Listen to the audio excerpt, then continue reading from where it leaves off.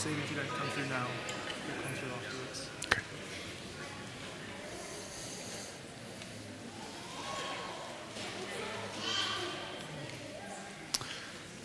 Good morning, my friends. Good morning. It's lovely to see you. Welcome to St. Paul's Harringay. It's really good to have you with us for church this morning. My name is Pete. I'm the pastor here. Today is going to be great. I'm really been looking forward to this. This is uh, a joint service, so bringing together our normal 9:30 and 11 o'clock services. We've also got lots of time with the kids in today, both at the start and the end. And it is a world-focused Sunday, so we're going to set our sights globally this morning, and we're going to try and lift our eyes up to what God is doing in the world.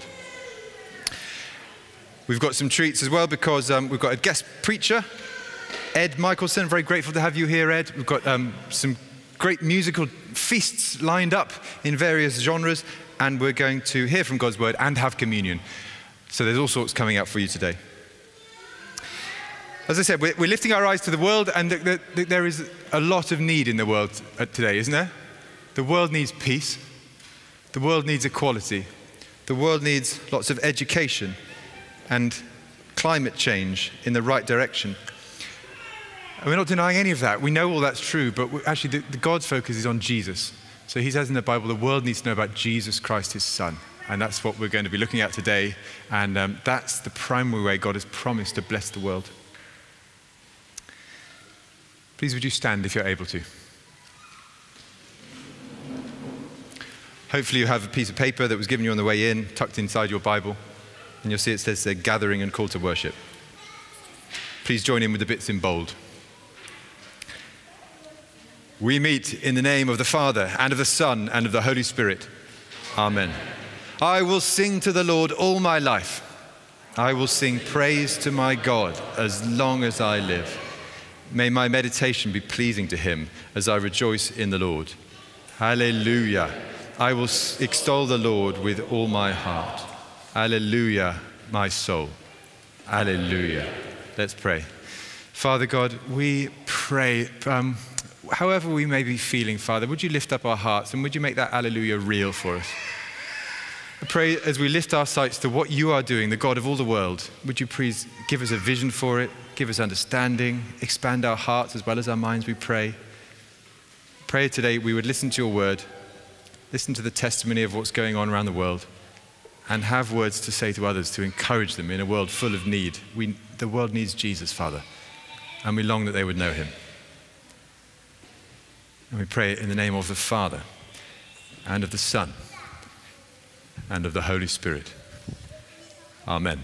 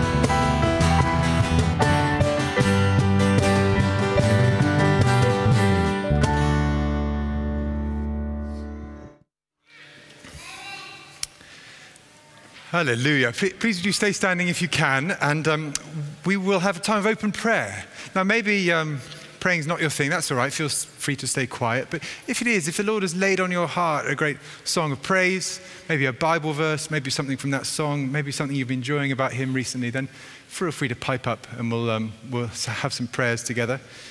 And then I'll draw it together as we close. Let's pray.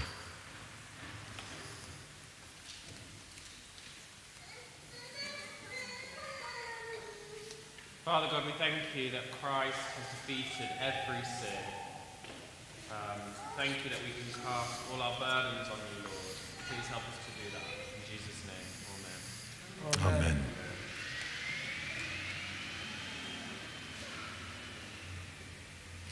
We know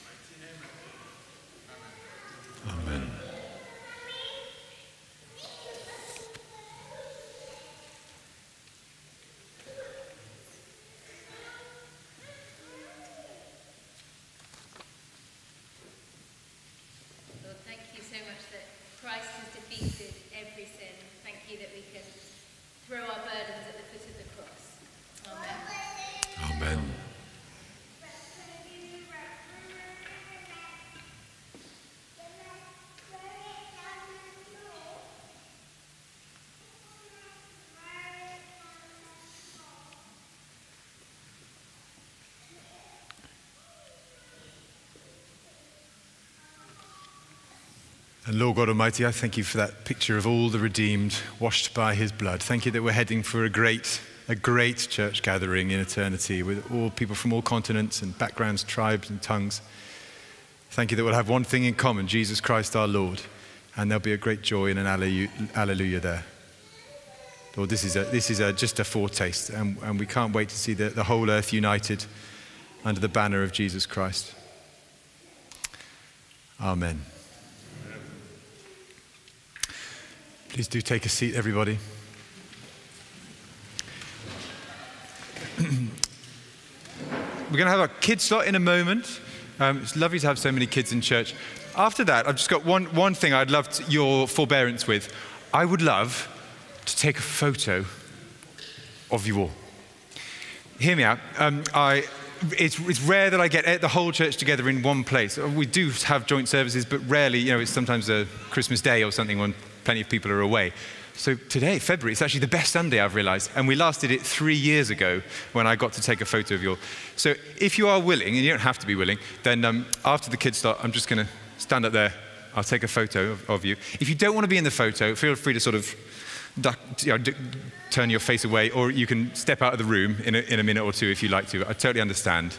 Um, or you can just let me know afterwards and I can blur your face on anything we use it on. But it is great to have a photo of the whole church. It's great to use it on a, on a website or a post from time to time. So that's what I would use it for. And if you're willing to have your face seen and you don't let me know, I'll sort of take that as your consent, all right, for this photo. Thank you. It's a lovely, rare opportunity today. Right, Katie, over to you.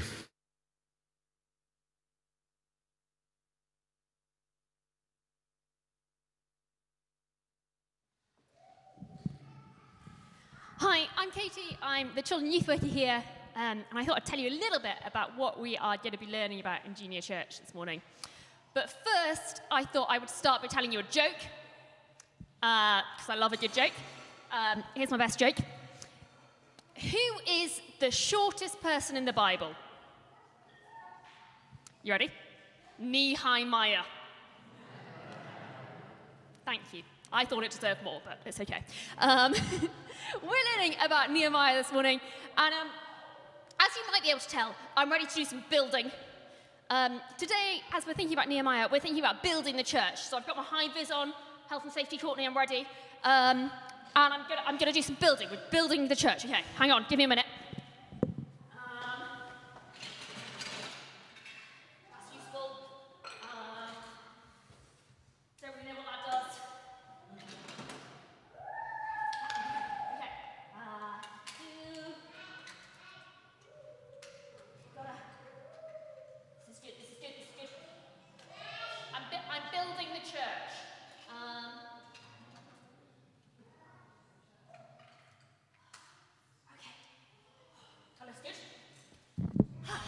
We. Okay, so I think I've done what Nehemiah told me to do. I've built the church really well.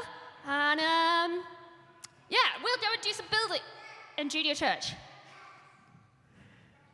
Or maybe that's not what Nehemiah was telling me to do. Um, do I need to become a master builder to learn how to follow God like how Nehemiah says? Nehemiah worked really hard and he built up some walls. But that's not what God's telling us to do. God is telling us to build his church. And that doesn't mean building the bricks and the mortar and making a building. Um, it means something much, much cooler than that and much more exciting. Um, and we're going to be having a think about that as we head down to our groups this morning. What does it mean to build the church and how can we do it like Nehemiah did? I'm going to pray and then we're going to head out. If you're not, no, we're going to stay here and Pete's going to take a lovely photo. Um, if you're 0 to 2, there's crèche next door in the church house. If you're 2 to 11, come downstairs and we will um, have a great time. Uh, I'm going to pray and then Pete will take a photo. Father God, thank you so much uh, for your word. Thank you for how it teaches us and instructs us. Um, please, would you help us to be like Nehemiah?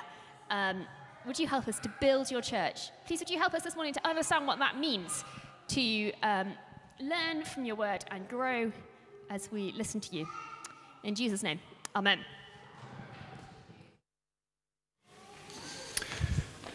Katie, thank you. Right, you ready, everybody? Um, you can stay sitting down, but if you would be willing to give me a wave, a wave is very friendly. Okay, and I'm gonna, I'm gonna get all the height I can. Here we go. Can you wave and say hello?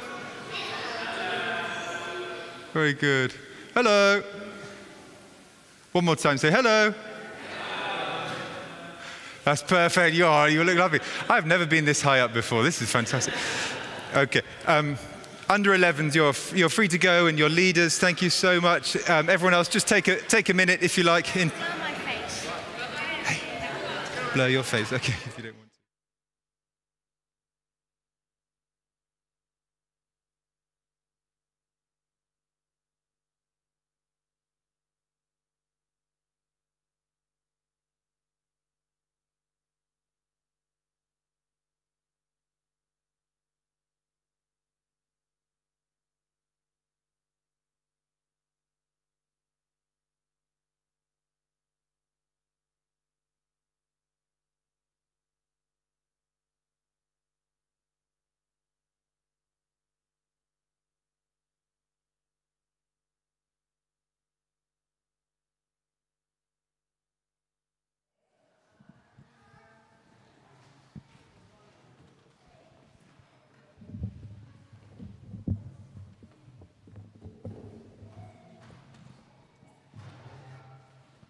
Good morning, everyone.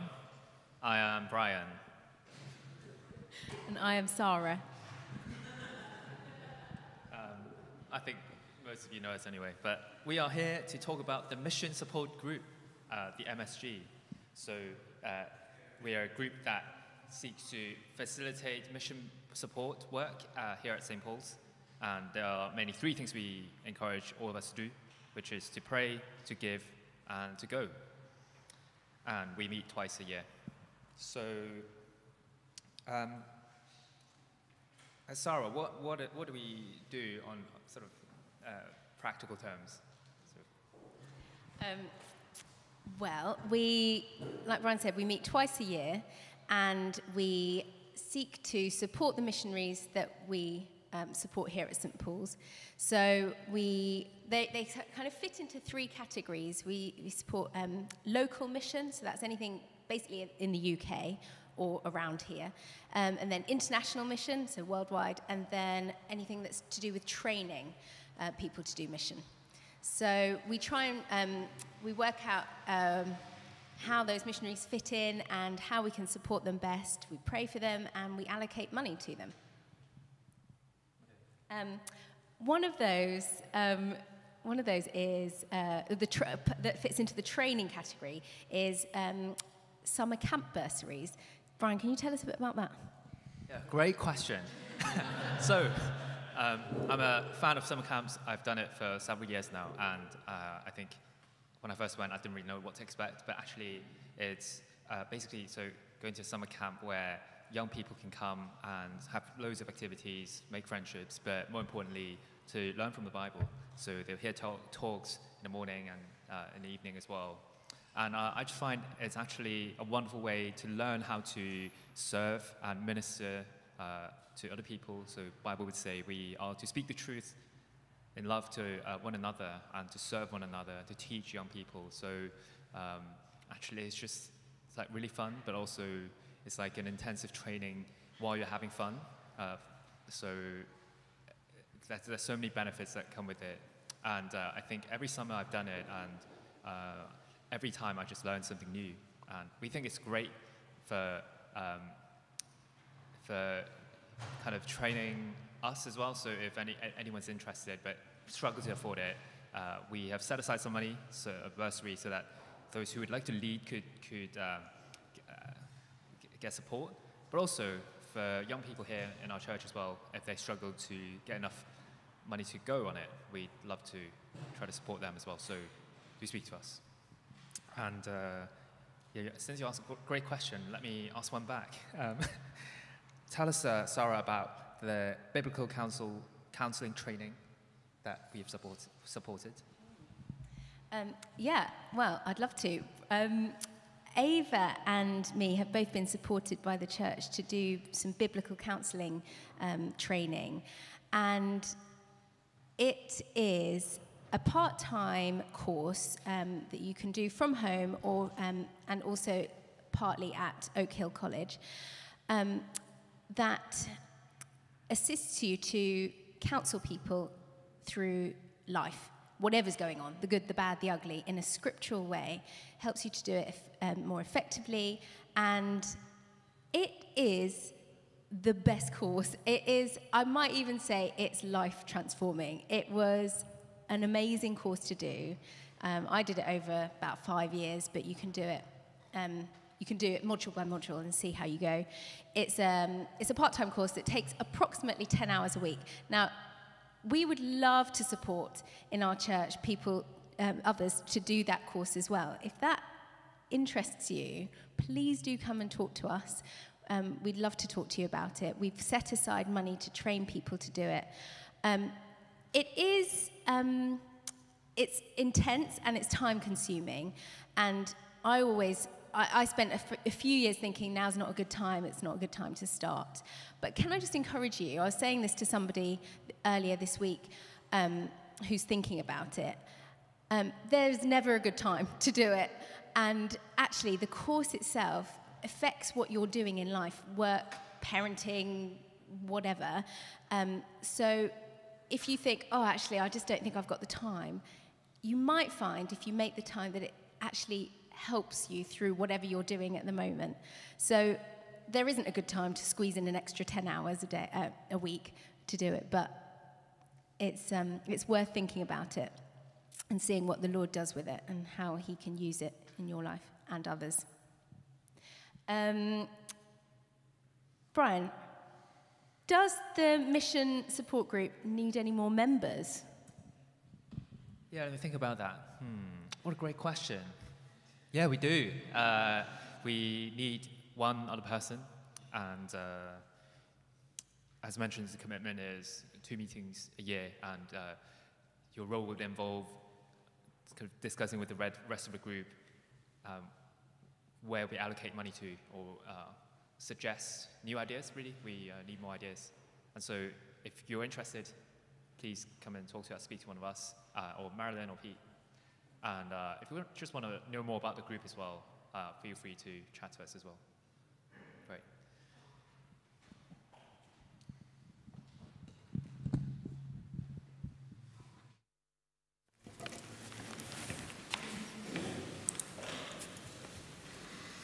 We come now to a time of prayer. Let me lead us.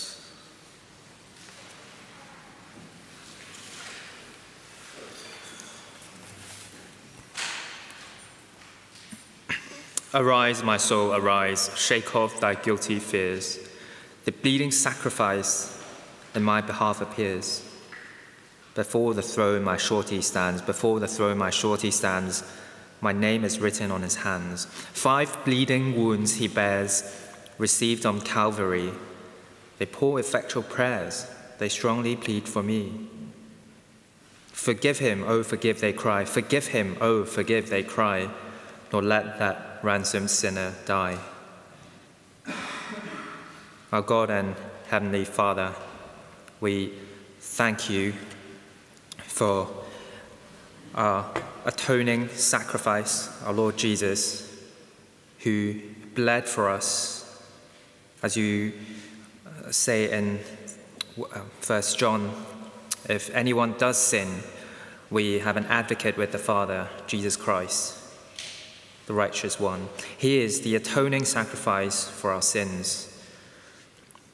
Thank you. That sacrifice is where love and justice meet. It is so rare to see both things in, in our world come together. But Lord, you are loving, but yet you are just. And you're angry with sin in the world and with uh, sinners uh, like us. And thank you that that justice is meted out on Jesus Christ, so we don't have to bear it. We think of that bloody sacrifice, the violent ending of our Lord's life, the love that led him to do that and led him to freely give his life to us. And we pray in our, on World Missions Day today, we would uh, have a deeper understanding of that, and that's what the world ourselves need desperately. Pray in Jesus' name, Amen. You, Lord, are the righteous judge of the world. Nothing is hidden in your sight. We pray that you would hold evildoers to account, those who kill the innocent and yet are unpunished, those who wage war for unjust gain and to spread hatred. hatred. Abraham cried to you, Will not the judge of the world do right? And so we pray justice would prevail and that peace would be found in areas like Gaza, Ukraine, Sudan, and other war zones absent from our daily thoughts. In your justice, may those who are unrepentant appear before you and be found guilty, but may those who turn to you in true repentance be saved and be protected by you, and may they be peacemakers. We pray also for Jennifer, our sister, who lost her son recently. We pray that the perpetrators of murder would be caught and put to justice. Please aid the efforts of the police to do so. Meanwhile, we pray that you would hold her fast and she would persevere by your strength. And may the funeral, while an occasion of grief, be one that also points many people to you, the hope of all the world. In Jesus' name, Amen. On World Focus Sunday today, we pray, Heavenly Father, that all of our mission partners across the world would continue to hold out that gospel of our Lord Jesus Christ, crucified for sins, bore your righteous wrath, but rose to glorious life after three days and taken up in glory. Through our mission partners, may many turn to him in faith and repentance and take refuge in you and the judgment that is to come. We pray for 500K and Ed and his team that you would bless their great attempt to plant 500,000 churches in India. We pray that they would continue, continue partnering with and nourishing the local churches there. May their partnership be so characterized by gospel humility that it would give glory to you and cause onlookers to see that Jesus is among them. And when persecution arises, may they endure the cross, despise the shame, and triumph by the blood of the Lamb. We pray also for our own hearts here, ourselves here at St. Paul's, that we wouldn't be unmoved by the pressing need of the nations to hear your saving message. May we sit humbly under your most holy word and obey your commands to make disciples of all nations. In Jesus' name, Amen.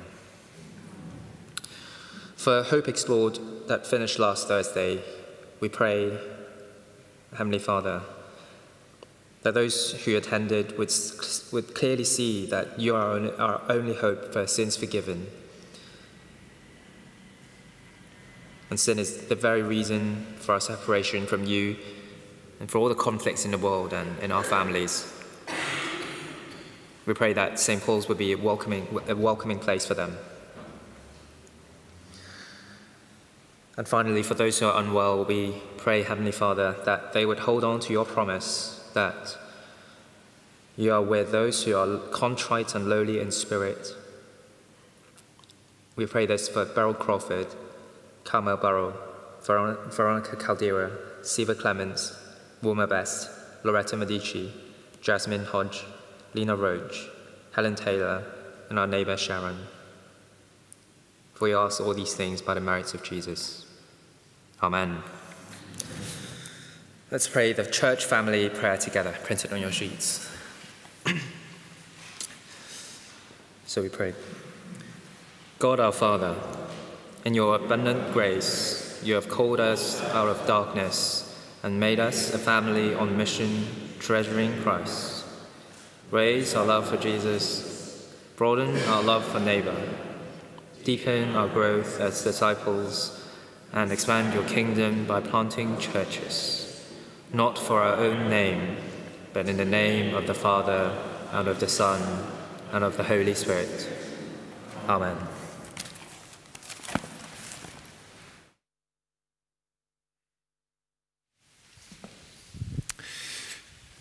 Thank you, Brian.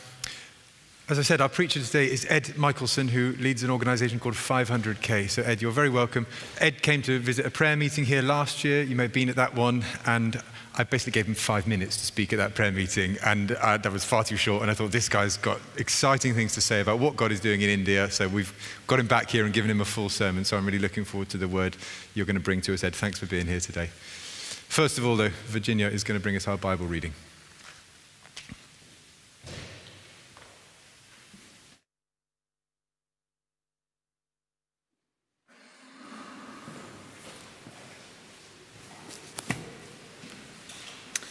Um, the reading is taken from Mark chapter 5 and starting at verse 21. It's on page 1007 in the um, church Bibles. So.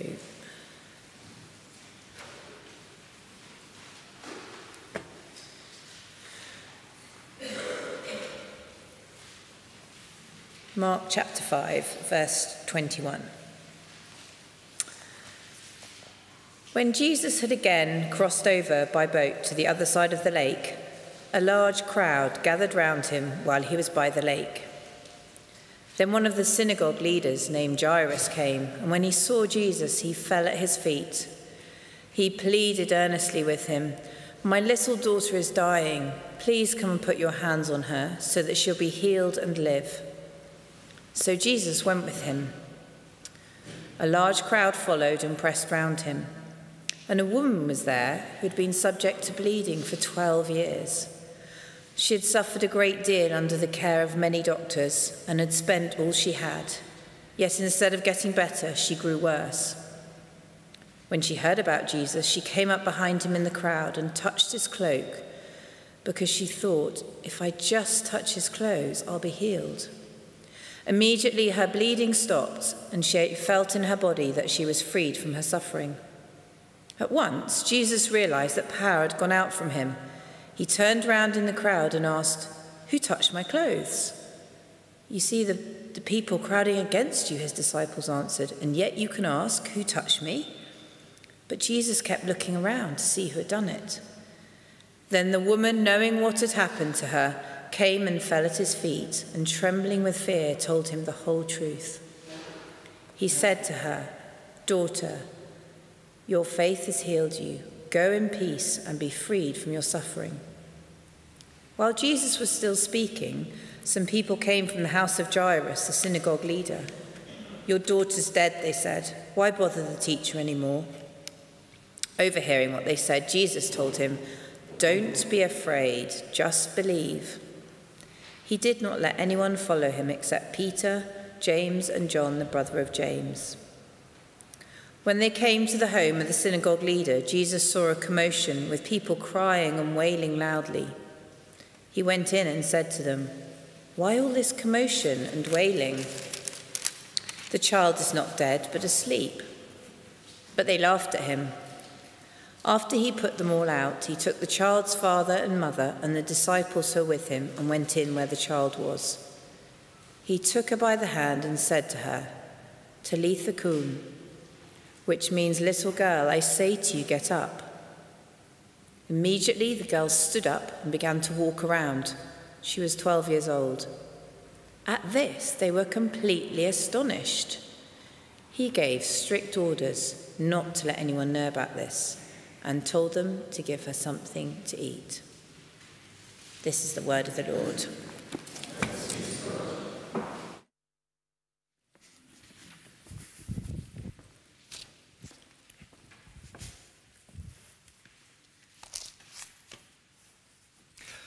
Well, thank you, friends. It is a delight to be with you here today on World Mission Sunday. World Mission is the cause about which I am the most passionate. It is the cause to which I have dedicated my life, and it is a pleasure to get to share with you about that this morning.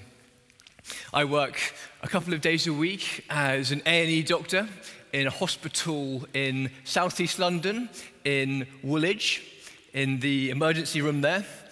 I say this to you as a warning note. So if any of you find yourself in the Woolwich area and start to feel a little bit sick, just try and make it to Lewisham. And there's no chance you'll have me as your doctor. This work which I do there a couple of days a week, this is my tent making profession. So I can do what I'm really passionate about that is gospel work free of charge.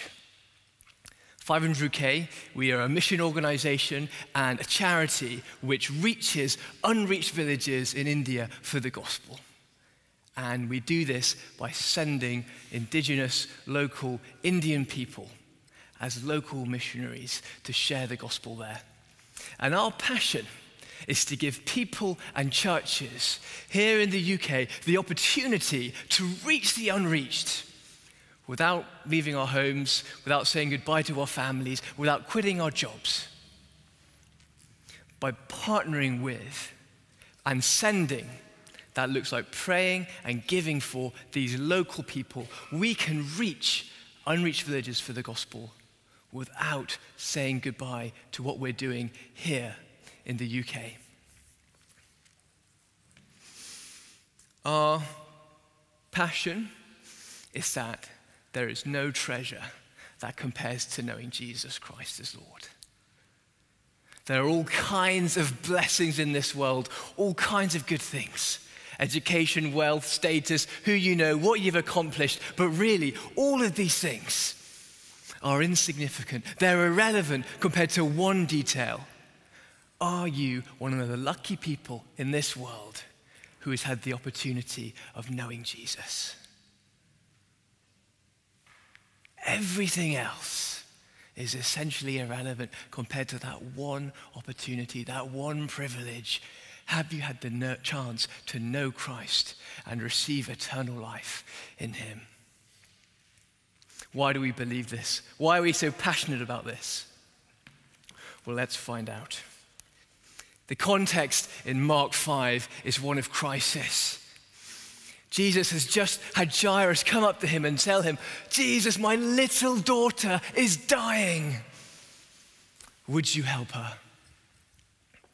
Jesus is walking with Jairus, but he gets interrupted. Starting reading from verse 24, it says So Jesus went with him. A large crowd followed around and pressed around him, and a woman was there who had been subject to bleeding for 12 years. She had suffered a great deal under the care of many doctors and had spent all she had, yet instead of getting better, she grew worse. When she heard about Jesus, she came up behind him in the crowd and touched his cloak because she thought, if I just touch his clothes, I will be healed. And immediately her bleeding stopped, and she felt in her body that she was freed from her suffering. This woman was a person whom Jesus interacted with 2,000 years ago. But even more than that, I believe this woman is a symbol for every person on this planet. This person, this woman, she was afflicted with problems too big for her to solve. Bleeding that could not be healed, daily pain, shame and stigmatization, shut out from the temple, being told that she was unclean and contaminated. Her life was one of pain and suffering. But so is the life of every person on this world. People knowing such fears, such sorrows, such anxieties. We like to think these problems are disappearing, but they're not. Research has shown Generation Z, that's people going to university, graduating from university now, have higher levels of anxiety and depression than ever before. The leading cause of death for people in the USA now under the age of 40 is addiction to opioids, to drugs. People are in pain. People are hurting. People are doing whatever they can to solve those problems. They're not finding the solution. I've had patients say to me, request not to be discharged from hospital because they say, when I leave here, I'm going to be all alone. Yet this woman, she sees Jesus. She knows that Jesus is her hope. She reaches out and touches him. She finds salvation. That is my testimony. I know that it is a testimony of every person here who has encountered the Lord, whether it was immediate for this woman or whether it has been gradually over months and years. All of us have encountered Jesus. We have reached out, taken hold of him, and he has met us in our pain. He has ministered to us in our pain. Let's read on. Verse 30. At once, Jesus realized that power had gone out from him. He turned round in the crowd and asked, Who touched my clothes? You see the people crowding against you, his disciples answered, and yet you can ask, Who touched me? But Jesus kept looking around to see who had done it. Then the woman, knowing what had happened to her, came and fell at his feet and trembling with fear, told him the whole truth. He said to her, Daughter, your faith has healed you. Go in peace and be freed from your suffering. Again, our reactions when we encounter the God of this universe are the same as this woman. It's a reaction of fear, a reaction of, Am I going to be judged? Am I going to be condemned? This woman falls on her face, trembling with fear. This is our natural reaction when we think of God, when we encounter with God. We are terrified all of us, like this woman, feel and know that we are not good enough. People spend their whole lives trying to overcome this problem, endlessly trying to progress in their careers, endlessly trying to store up more wealth, endlessly trying to please people. Everything to overcome this sense of, I'm not good enough, I'm inadequate.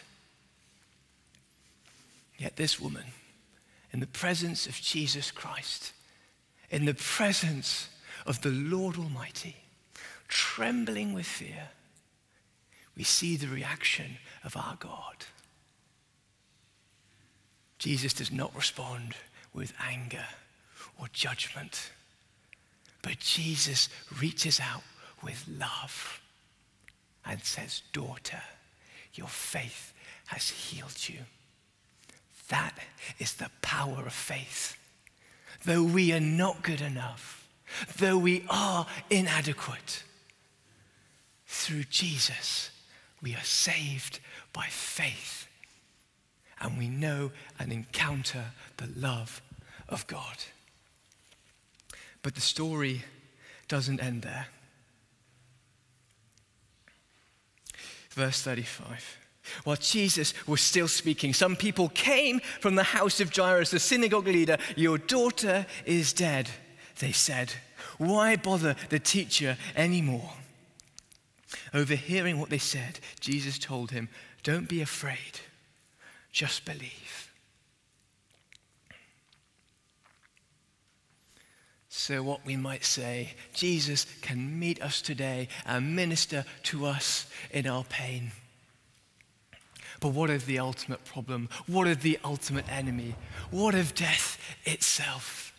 What of bereavement? What of the pain I have from people I've lost? What of the fear I have from when I will have to face death myself? This is something too great, even for Jesus. Or so the friends of Jairus thought. Jairus, you're too late. What terrible, hopeless words. Jairus, you tried. You wanted to save your daughter, but I'm sorry. It's too late.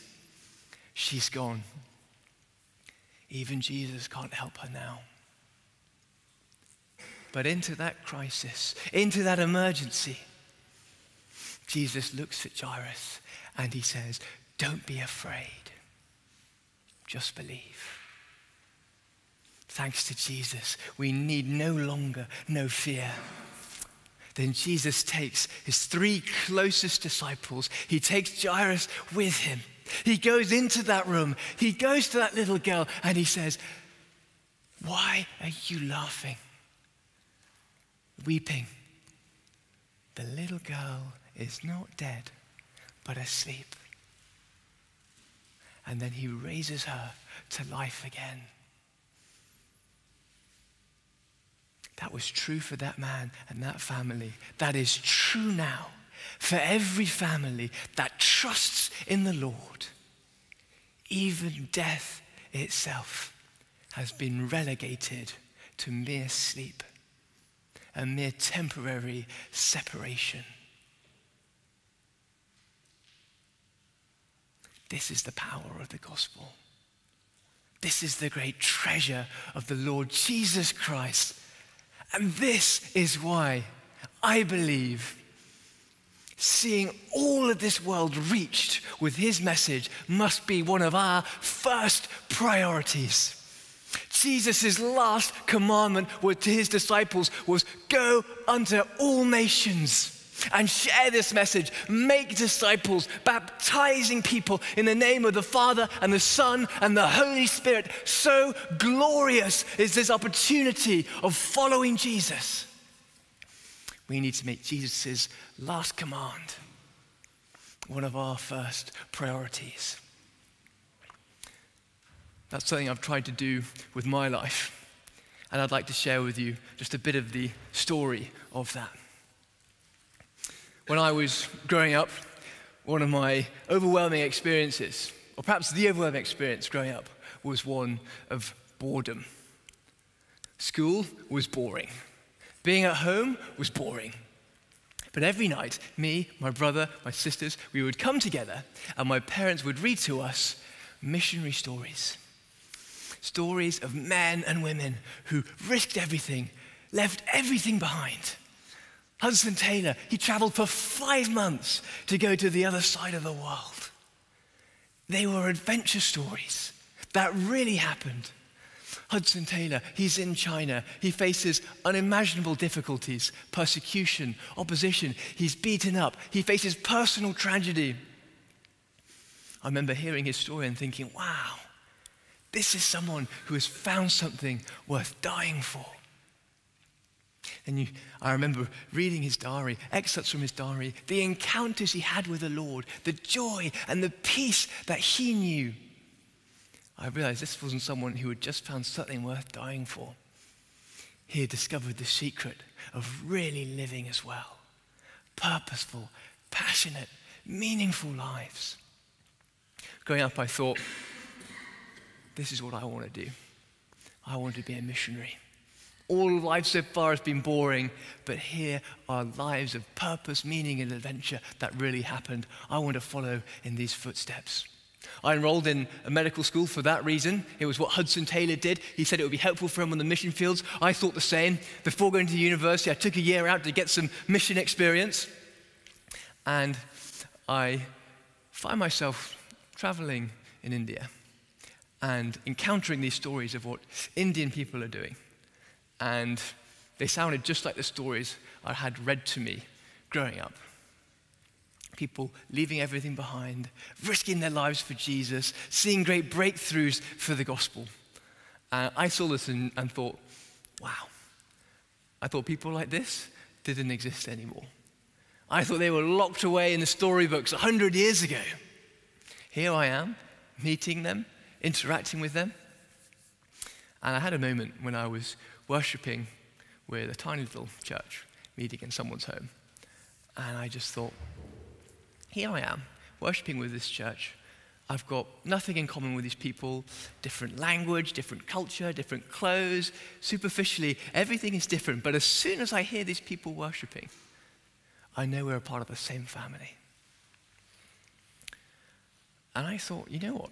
Until five years ago, the gospel had simply never reached this community.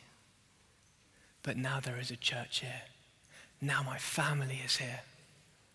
And I just thought, what I am witnessing here, what I am seeing, this is history in the making. And I had, this was a real transformation moment for me. I had a sense of, I don't think you guys need me coming to you as a missionary. You're already doing it. How can I be a part of what is happening here? And they said, well, one of the ways that you can help is through giving. Our own churches are poor. We're struggling to look after our own pastors, the poor in our own communities, let alone send out other people as missionaries. And I heard this and I thought, what? You mean the coolest thing I've ever heard isn't happening for money? That's crazy. It's also kind of encouraging because that's something I can really easily help with getting my friends interested in Jesus, that can be hard going. But I can make money. I just have to turn up at work. I don't even have to be particularly good. If I'm just there, money comes in. This is when people say, hmm, Yeah, Ed, I don't know if I'd want to have you as my doctor.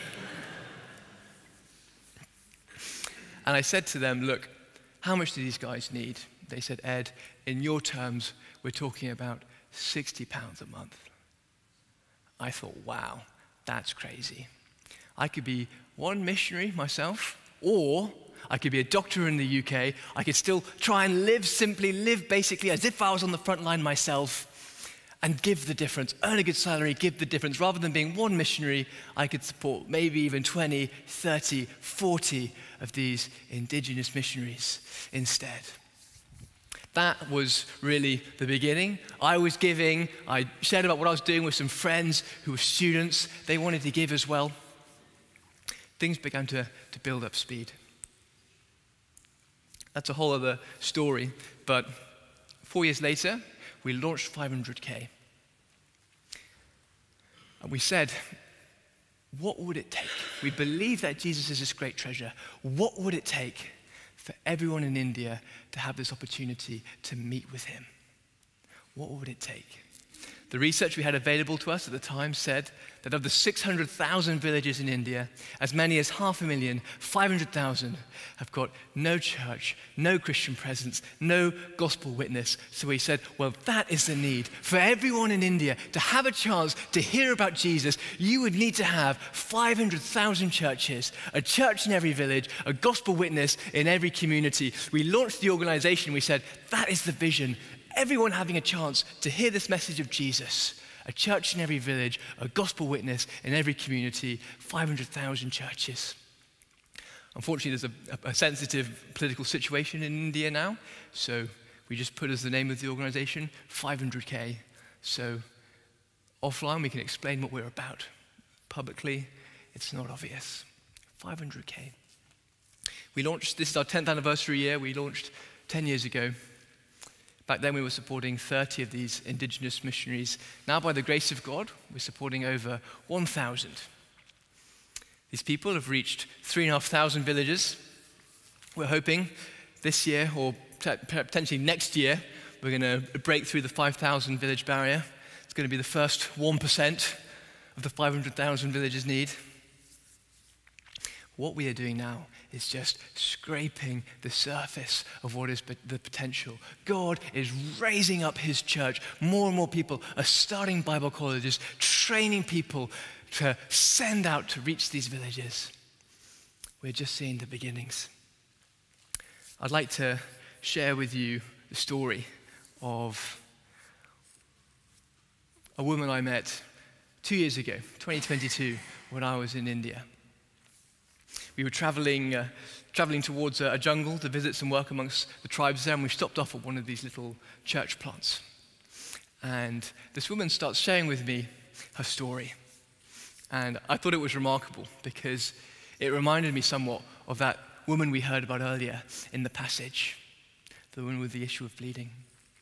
This woman told me how for seven years she was so weak she couldn't get out of bed. Every day her children were coming and washing her in the bed or putting her on the bedpan, sometimes picking her up out of the bed, putting her in the chair, putting her back in the bed. That was her life for seven years. And she's not an elderly woman, she's in her 50s now. An evangelist, this has nothing to do with 500k, an evangelist, he goes through the village. He's looking for people to pray for and to minister to.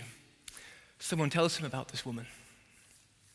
He goes and meets her, shares about Jesus with her, prays with her, and this continues over a process of six months. He's ministering to this woman. And she told me how over those six months, to begin with, she started just being able to sit on the edge of the bed, then to walk around with a stick. By the end of those six months, she told me she had been completely healed. Radiant smile on her face, her health fully returned to her. That was when I met her. But there had been, this is the interesting thing, there had been a 10 year gap between when that happened and when I met this woman. The evangelist, he's an itinerant evangelist. It's in his nature to move on to the next place. He leaves. This woman is then all by herself in this village as a believer. And I'm speaking to the missionary who was sent to that community, and I was asking him, How did you, how did you pick a village to go minister to? And he said, Well, my leader said to me, I want you to go somewhere in this district, somewhere in these clusters of villages, but I want you to look to the Lord to direct you. Where do you want to minister? So he's walking from village to village, and he's just praying as he goes. And he told me there was a particular village where he feels a sense of peace. He goes to that village, and uh, I wouldn't recommend what he does. He buys a microphone and a little PA system. He starts preaching the gospel on the street. There is a lot of persecution, there's a lot of resistance to the gospel in India these days, so I wouldn't recommend this, but there he is. He's preaching the gospel on the street. Who walks past? It's this very same woman who had been healed 10 years earlier. She said to him, Are you preaching the gospel? He said, I am. She shares her story with him and she said, For 10 years, I've been praying that God would lead someone to this village to continue what that evangelist begun 10 years ago. And now you're here, an answer to prayer. She opens up her networks to him, her friends, her families. He begins sharing the gospel with them. That was the beginning of the church in her community. Began this message reflecting on the fact that there is no treasure that compares to knowing Jesus. And that consequently, one of our great priorities must be reaching the unreached. This is the challenge that I want to leave with you. Both globally around the world and locally, right here in London, how are you making this gospel message a priority, a focus? How are you leaning in? How are you praying? How are you saying, God, use me? I know the power of your message. I know the glory of your gospel, but I am a weak and broken person. Would you use me? Would you help me to see that which truly matters? So many of our brothers and sisters around the world are risking their very lives for the gospel. I could tell you so many stories of people who have been threatened and beaten up for sharing about Jesus in India. This is the price other people are paying. What can we be doing? What is a step of obedience that God is leading us towards?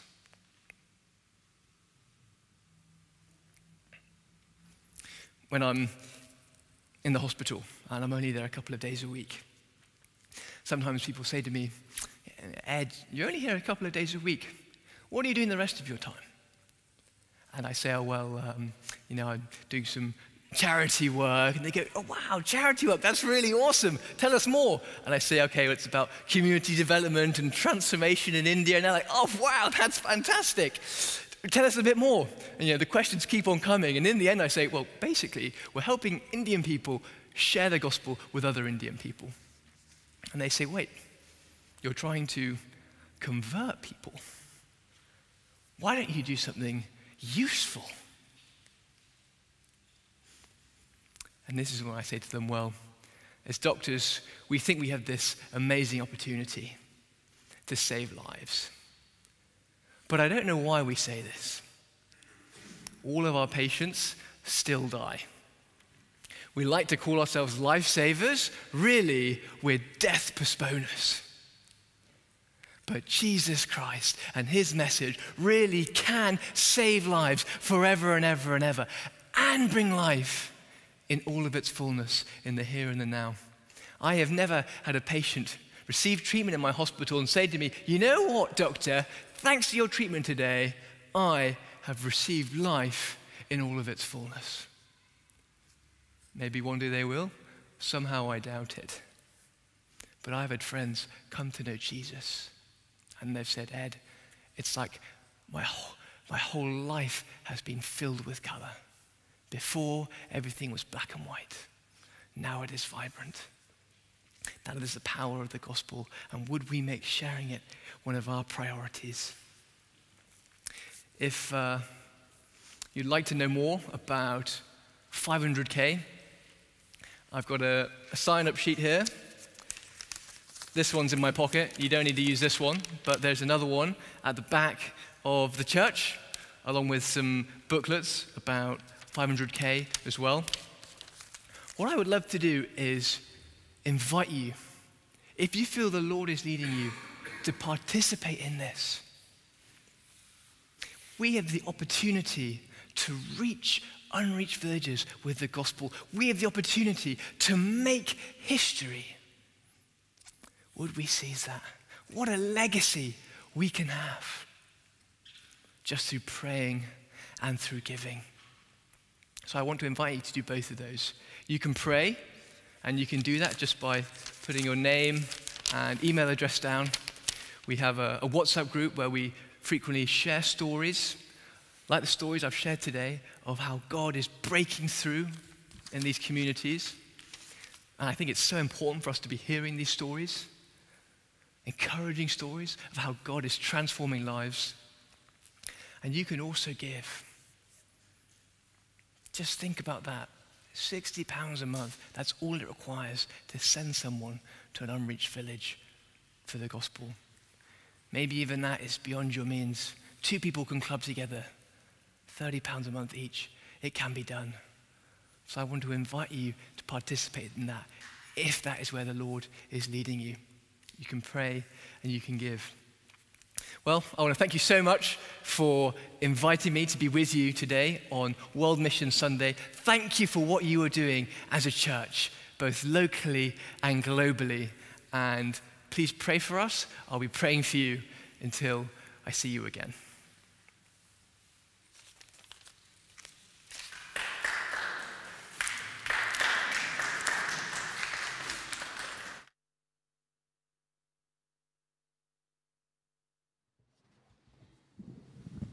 Um, we're going to respond in, in song now, so if you're able to stand, please, please do, and we'll sing uh, the Creed.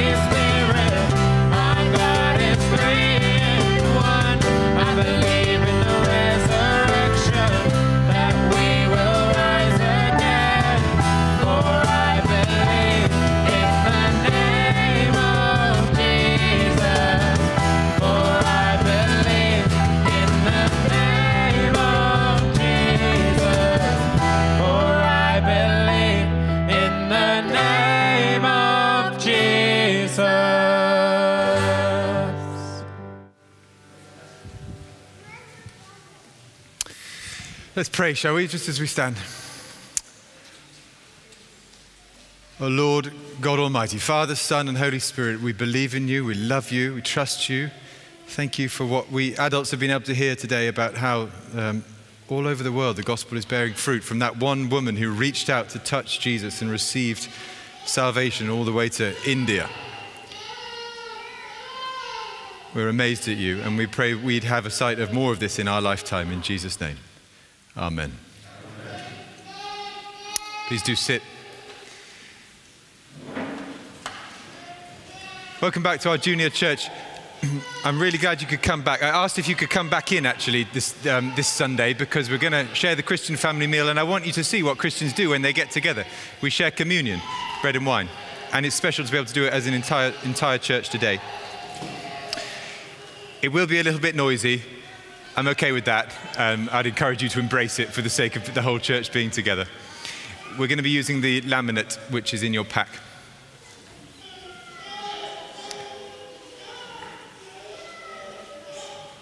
The peace of the Lord be always with you. The Lord's Supper is given that all who participate may remember Christ's death on the cross once for all to pay for sins, and his glorious resurrection to reign at God's right hand as Lord and Judge. It is given that we who are in need of God's sustenance and fatherly care might feed on him in our hearts by faith with thanksgiving. It is given as a memorial by Jesus himself and practiced by his apostles and earliest followers. I invite you to pray with me. Almighty God, Father of our Lord Jesus Christ, Maker of all things, Judge of all people, we acknowledge and lament our many sins and the wickedness we have committed time after time by thought, word, and deed against your divine majesty. We have provoked your righteous anger and your indignation against us we earnestly repent and are deeply sorry for these our wrongdoings. The memory of them weighs us down. The burden of them is too great for us to bear. Have mercy upon us. Have mercy upon us, most merciful Father, for your Son, our Lord Jesus Christ's sake. Forgive us all that is past, and grant that from this time forward we may always serve and please you in newness of life to the honor and glory of your name, through Jesus Christ our Lord. Amen. Hear the words our Savior Christ says to all who truly turn to him Come to me, all who labor and are heavy laden, and I will give you rest. God so loved the world that he gave his only begotten Son, that whoever believes in him shall not perish but have eternal life. Hear what St. Paul says. This saying is true and worthy of full acceptance that Christ Jesus came into the world to save sinners. Hear what St. John says If anyone sins, we have an advocate with the Father, Jesus Christ the righteous, and he is the propitiation for our sins.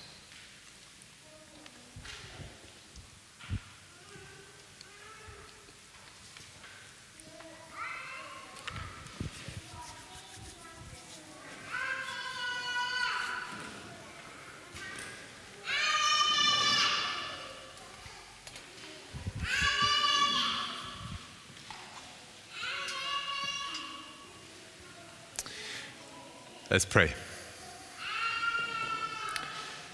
Almighty God, our Heavenly Father, who in your tender mercy gave your only Son, our Savior, Jesus Christ, to suffer death upon the cross for our redemption, who made thereby his one oblation of himself once offered a full, perfect, and sufficient sacrifice, oblation, and satisfaction for the sins of the whole world.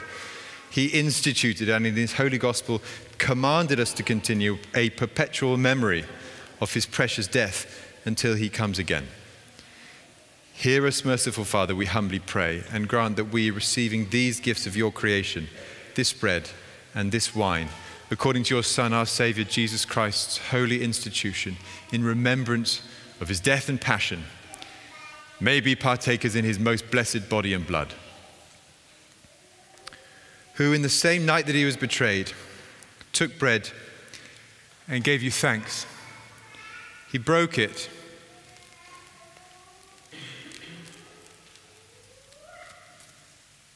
and gave it to his disciples, saying, Take, eat. This is my body, which is given for you. Do this in remembrance of me. In the same way, after supper, he took the cup, and when he had given thanks, he gave it to them, saying, Drink this, all of you. This is my blood of the new covenant, which is shed for you and for many for the forgiveness of sins. Do this as often as you drink it in remembrance of me. Amen.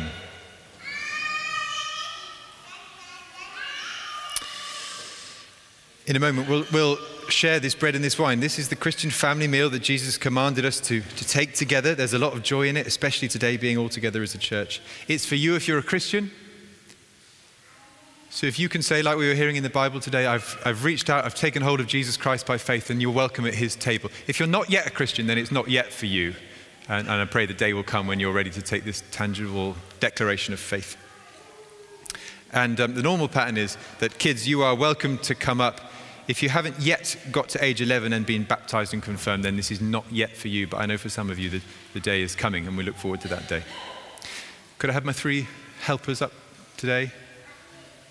Sarah, Brian, and Ben.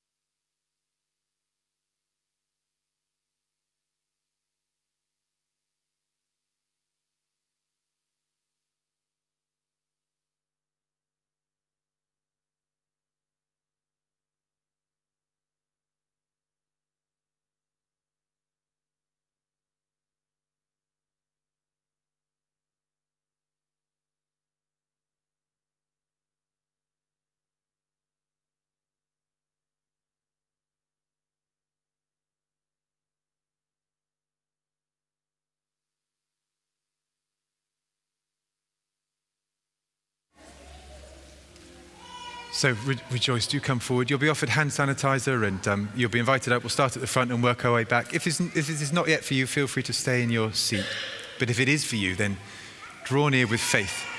Receive the body of our Lord Jesus Christ, which he gave for you, and his blood, which he shed for you. Eat and drink in remembrance that Christ died for you, and feed on him in your hearts by faith with thanksgiving. Amen.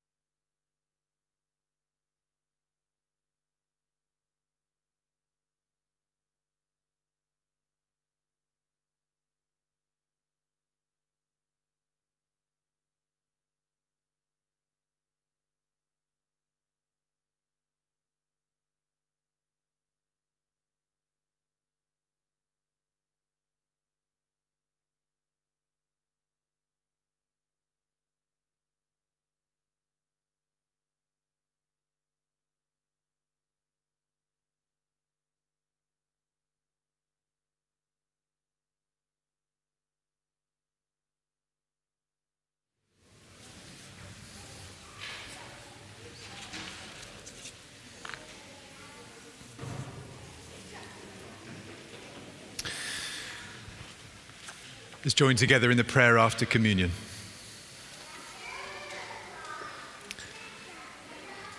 Father of all, we give you thanks and praise that when we were still far off, you met us in your Son and brought us home.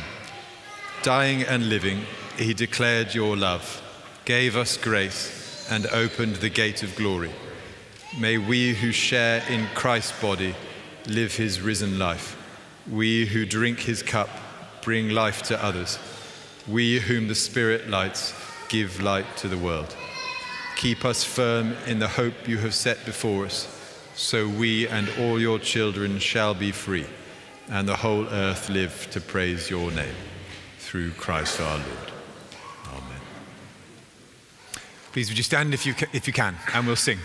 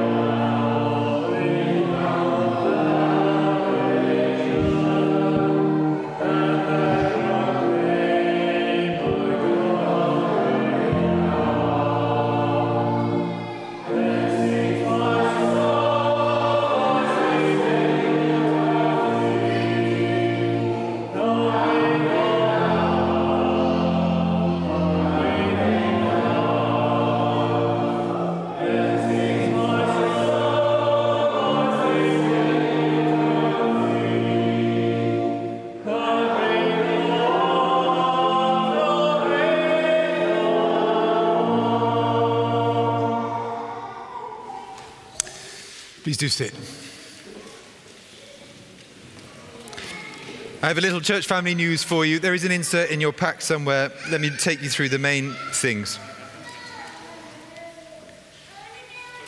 The funeral of Jonah Hoshu is going to be here at St. Paul's on Friday, the 23rd of February, and that's going to be at 11 o'clock. We hope to provide a YouTube stream, so this building does have a limited capacity, but we hope that by that means other people will be able to join in with it. And then um, Jennifer and Camila tell me that there'll be a burial afterwards at Sewardstone Cemetery. In the meantime, we have a church lunch after the service in the church hall. Thank you so much. If you have brought food along and you're willing to share a bit of it around, then my plan is that by that means, everyone will get fed. So if you, if you could just take it down to the church hall, down the steps, into the next building, um, then put it on the table, and um, I think everyone will, there'll be enough to go around. I certainly made a lot of bread. If you didn't know about it, then you come to lunch with us. We're going to have lunch straight after the service. Um, it's dead easy. It's just in the next building, and you're really, really welcome. It's just a simple meal together. It's special to have everyone together today. In particular, we don't actually get to do church lunches much in the winter because it's, it's much easier to barbecue outdoors in the summer. So if you can come, I'd love you to stay. Beyond that, church prayer meeting is this week uh, at, on Wednesday.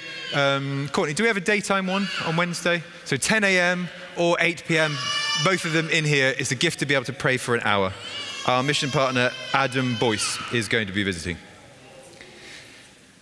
Ben, now you had something to tell us about WhatsApp.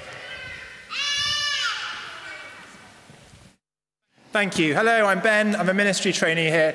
A quick notice about WhatsApp. Um, many of you will be in WhatsApp groups as part of church life, you know, for serving teams, different ministries, rotas and stuff, uh, home groups, that sort of thing.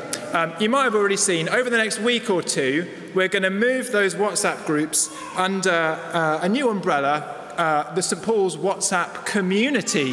Ooh, oh, thank you, yeah. So, uh, what's that? It's very simple. WhatsApp communities is a kind of newish feature from WhatsApp that lets you group a bunch of related chats together, which kind of makes sense for us because we've got a bunch of chats that kind of are all under the St. Paul's umbrella. Um, hopefully, this change will make your WhatsApp kind of inbox, whatever you call it, a lot more organized. It will kind of put them all together, make it a lot easier for you. Um, I think particularly making this small change will be really great for newcomers to church because it means that all the groups they could join, like socials or, or the prayer group or whatever, uh, it's all there in one place. They can discover it easily enough. So I think it'd be really good for people who are new to our church. Um, we're also going to move the, the, WhatsApp broadcasts that Pete does over to the community as well because it lets you do that as well. Um, if you're not too sure about technology, don't worry basically nothing's changing. It'll be a very, very small change in your WhatsApp app. I'd be surprised if you noticed it, to be honest. But we thought we should flag it. Um, and if you don't use WhatsApp at all, then that's fine, because you don't need to be using WhatsApp to be part of the church family here. Uh, but we just thought we'd let you know if you see something slightly change in your WhatsApp app with our group chats for St. Paul's, that's what's happened. It's going to be great. Let me know afterwards if you have any questions. Thanks.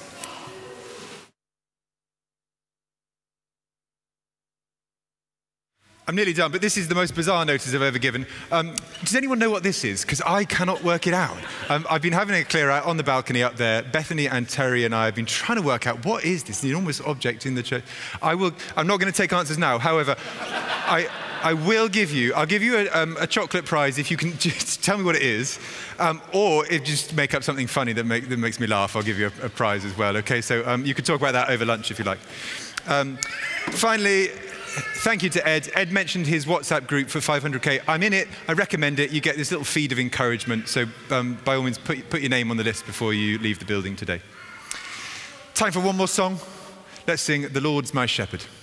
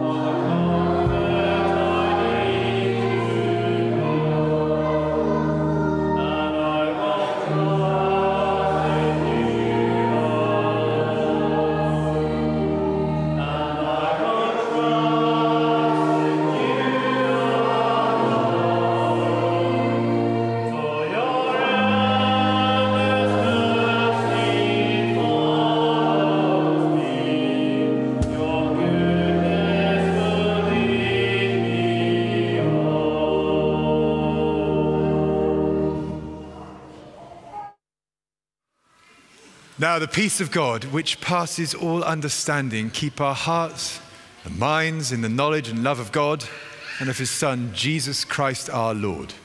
And the blessing of God Almighty, the Father, the Son, and the Holy Spirit be among us and remain with us always. Amen. Go in the peace of Christ. Thanks be to God.